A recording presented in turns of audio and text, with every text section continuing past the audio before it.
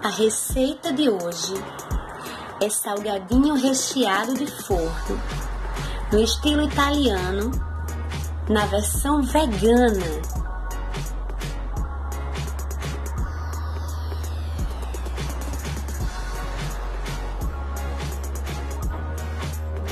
Para essa receita, nós vamos utilizar 3 colheres de sopa de açúcar uma colher de sopa de gordura vegetal. Estou utilizando essa aqui. Um sachê de 10 gramas de fermento biológico seco.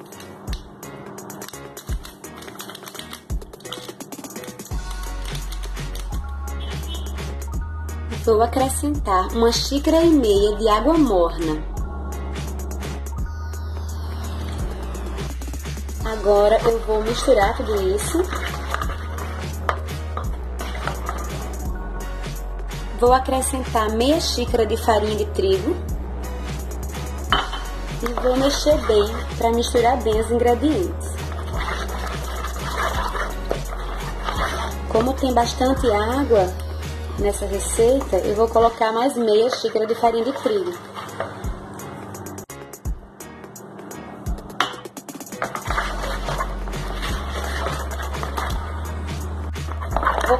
Mais meia xícara. Ao todo aqui eu coloquei uma xícara e meia de farinha de trigo. E eu vou mexer bem para que a minha massa fique bem homogênea. Agora eu vou cobrir com um pano e deixar a minha massa descansando por 20 minutos. Agora que se passaram os 20 minutos, eu vou acrescentar mais meia xícara de farinha de trigo. Dar uma mexida.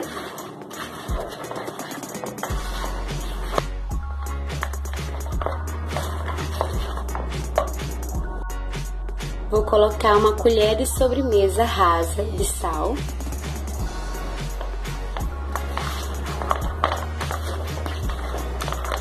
Vou colocar mais meia xícara de farinha de trigo aqui.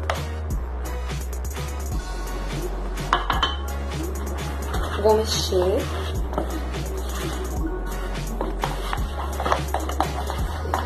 E vou colocar na bancada para começar a misturar um pouco mais de farinha e começar a salvar.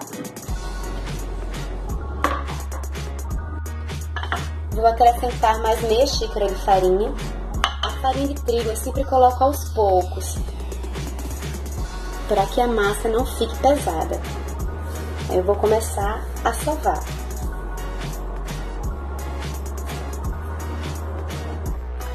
A minha massa está quase boa, mas ela ainda está grudando bastante. Eu vou pegar aqui mais um pouquinho de farinha e vou puxando para ela enquanto eu solvo a massa. Eu vou solvar essa massa por cerca de 8 minutos. Essa quantidade agora que eu coloquei de farinha foi equivalente a umas 3 colheres de sopa. Depois eu coloco na descrição do vídeo a quantidade total de farinha de trigo que eu utilizei. Então agora ela tá boa já, eu vou sovar por 8 minutos sem parar. A minha massa tá pronta. Ela ainda gruda um pouquinho no dedo, mas ela solta, ó, tá vendo?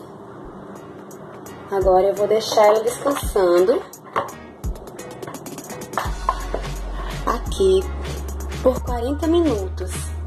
Eu vou cobrir ela com pano e vou deixar ela descansando. Agora que se passaram os 40 minutos, eu vou colocar um pouco de farinha de trigo na minha bancada. Colocar massa. Vou dar mais uma salvadinha nela, bem pouquinho mesmo. Não precisa ser muito não. Agora eu vou pegar minha massa e vou cortar em pedacinhos.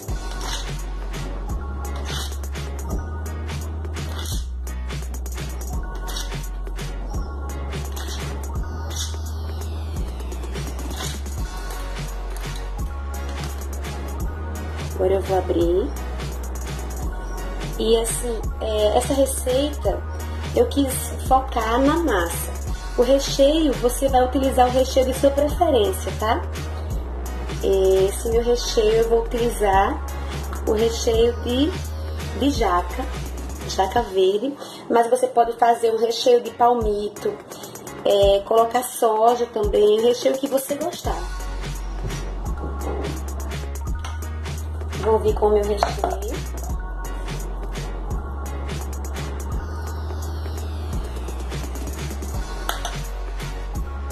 E vou enrolar.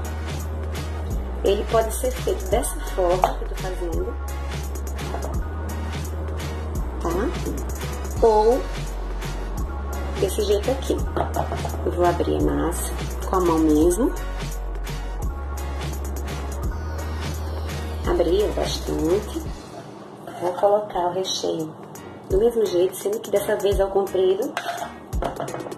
Desse jeito.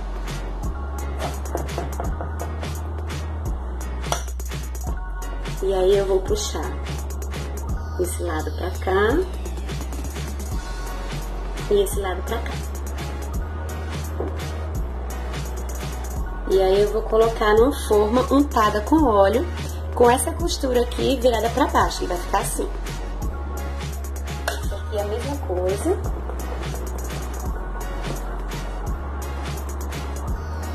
Aí aqui eu vou colocar um pouco de queijo por cima, um pouco de queijo de macaxeira, ou seja, queijo de aipim, que eu já ensinei aqui no canal.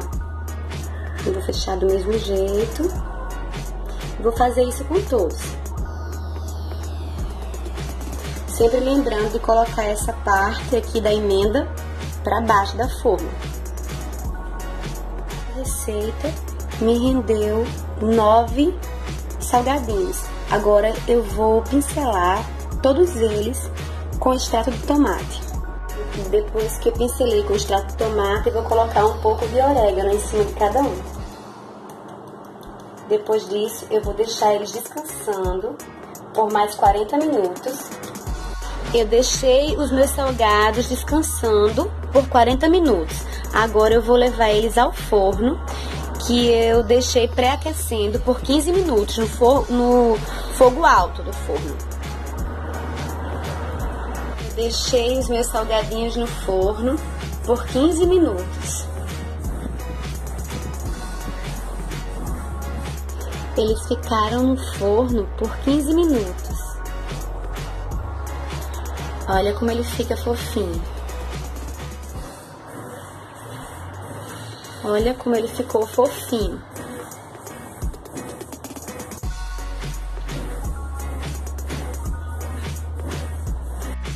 E estão prontos os nossos salgadinhos. Eu vou pegar esse aqui que tá bem grande. Olha só. Olha só, gente, a consistência dele.